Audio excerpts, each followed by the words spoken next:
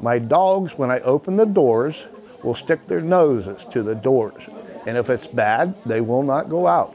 We have to put puppy pads down in the basement for the dogs to go to the bathrooms on. So they put in three well, new wells within, oh, about a mile and a half of me.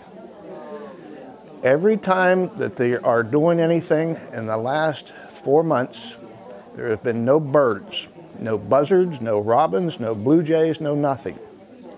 Now that the wells are completely capped, the birds are back.